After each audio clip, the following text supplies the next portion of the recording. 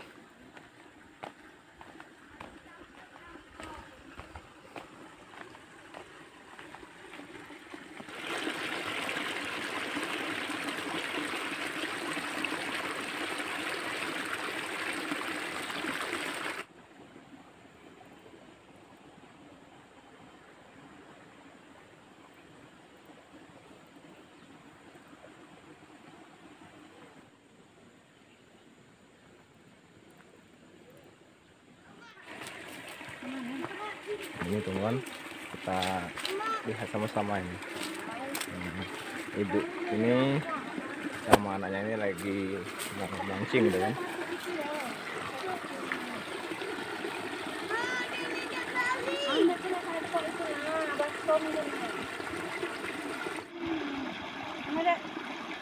dapat kalau orang meditasi kawai. Nah, foto. Dari masang itu tiap boleh. Itu tiap Nah, aduh.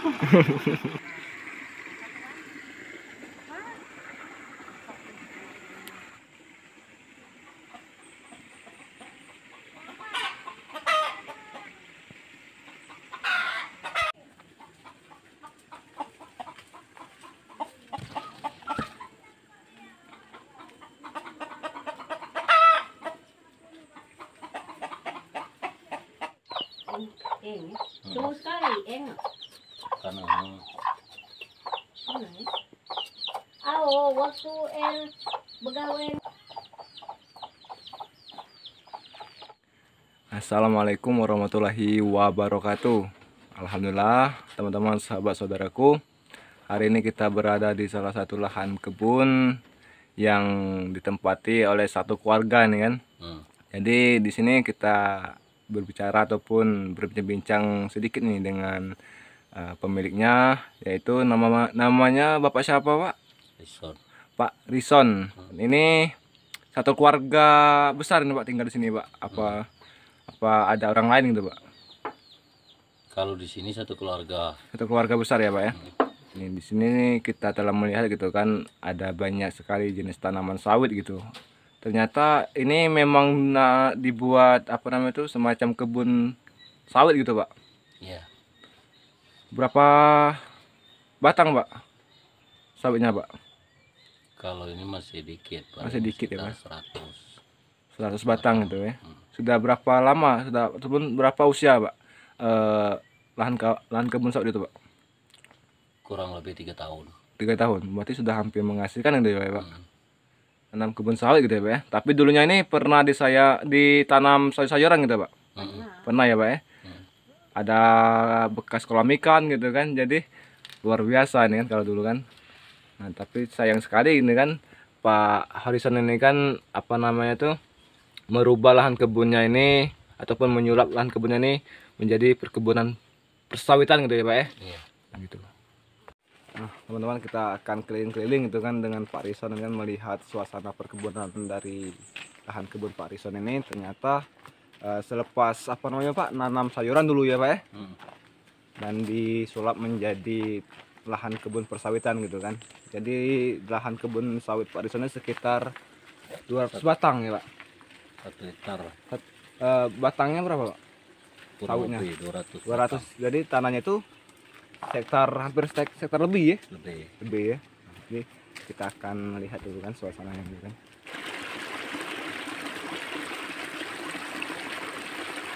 Nah ini. Betul-betul low jadi kalau tuh tiap bulan tuh panen ini pak? Biasanya? Panen. panen ya pak ya? dua minggu sekali. Jangan. Dua minggu sekali?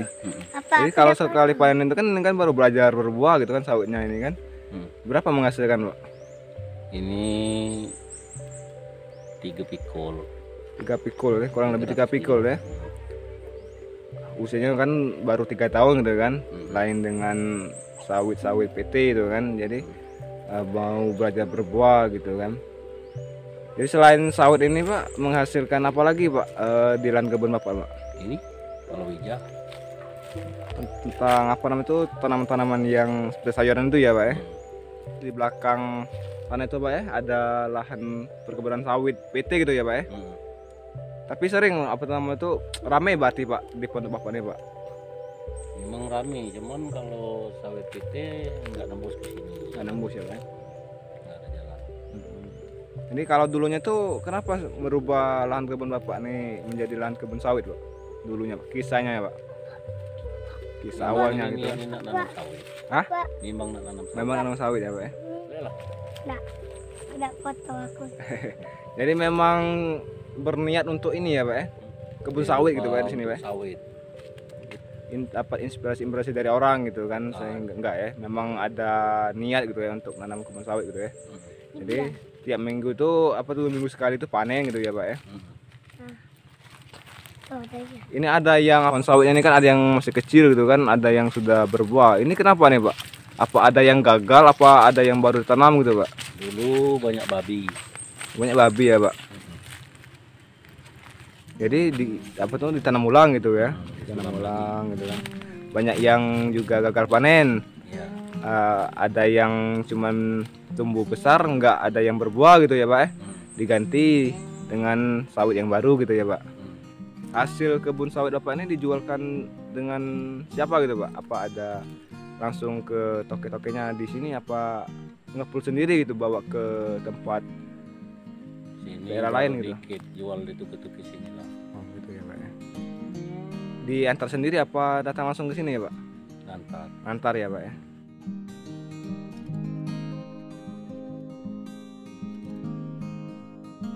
Eh, di sana itu ada juga bekas kolam ya pak Ada. Eh, sebelum nanam kebun sawit ini Pak Rison ini beternak ikan juga gitu ya Dulu dulu ya pak ternak ikan apa tuh pak dulu ikan nila. ikan nila ya pak menghasilkan lumayan juga pak hasilnya pak Gagal. Gagal juga ya, Pak? Kurang. Nah ini teman-teman, jadi dulunya di lahan kebunnya Pak Rison ini ditanami dengan sayuran gitu kan, dibuat kolam ikan. Jadi orang-orang pada ramai datang ke tempatnya Pak Rison ini kan. Kenapa nih Pak kolam ikan yang nggak dibuat lagi Pak? Apa ada kendala lain gitu Pak? Kurang biaya. Kurang biaya ya. Hmm. Tapi banyak orang yang nganjurkan untuk kerjasama untuk menabur benih ikan gitu kan di lahan kebun bapak. Ada, cuman takut Takut takut kenapa alasannya kenapa pak? takut gagal. Takut gagal ya pak. Tapi sering orang ngajak kita sama gitu. Sering. Sering ya pak. Itu dari orang yang ngajak kita sama apa bapak sendiri yang menolak itu pak? Saya sendiri. Sendiri ya. Tapi lebih baik fokus dengan tanaman sendiri gitu ya pak ya. Jadi hasil hasilnya hasilnya itu kan kalau gagal kan nggak merugikan orang gitu kan. Kalau hasilnya lumayan banyak kan bisa menghasilkan untuk bapak sendiri gitu kan. ya. Jadi pulang nanti pak. Itu anak kecil ini anak bapak ya pak. ya, Hmm, Siapa namanya pak? parahan. Bap oh, di Parhan gitu ya. Jadi pulang sering bermalam juga pak. Sering sekali-sekali. Hmm. Itu orang tua itu ibu bapak apa keluarga bapak saja itu pak? Hanya Mama- sekedar keluarga. Mama saya. Oh, ibu kandung ya pak? Iya. Jadi tiap malam dia itu bermalam di sini ya pak? Mengu- Apa tuh namanya itu? Mengurus lahan kebun bapak gitu kan. Kalau Pak Reson ini lagi pulang kan mereka yang jaga gitu kan. Iya. Jadi selain kegiatan perkebunan, apa lagi pak kegiatan sini pak? Motor karet. Potong karet ya pak. Itu tadi muat sangkar sangkar burung pak. Tadi banyak burung pak di sini pak. Ada Burung apa pak yang ditangkap pak? macam-macam. Macam-macam ya pak ya. Itu dijual juga hasilnya apa dikembangbiakkan? Enggak, cuman itu di sinilah. Oh untuk jadi hiasan saja ya pak ya. Jadi teman-teman inilah kan suasana di lahan kebunnya Pak Rison gitu kan. Banyak sekali tanam-tanaman sawit gitu kan. Dan juga katanya nggak lagi ternak ikan gitu kan. Jadi takut gagal tuh ya pak ya. Lebih baik apa namanya berkebun sawit. Jadi hasilnya itu kan sendiri. Jadi ruginya sendiri dan untungnya juga sendiri gitu ya pak.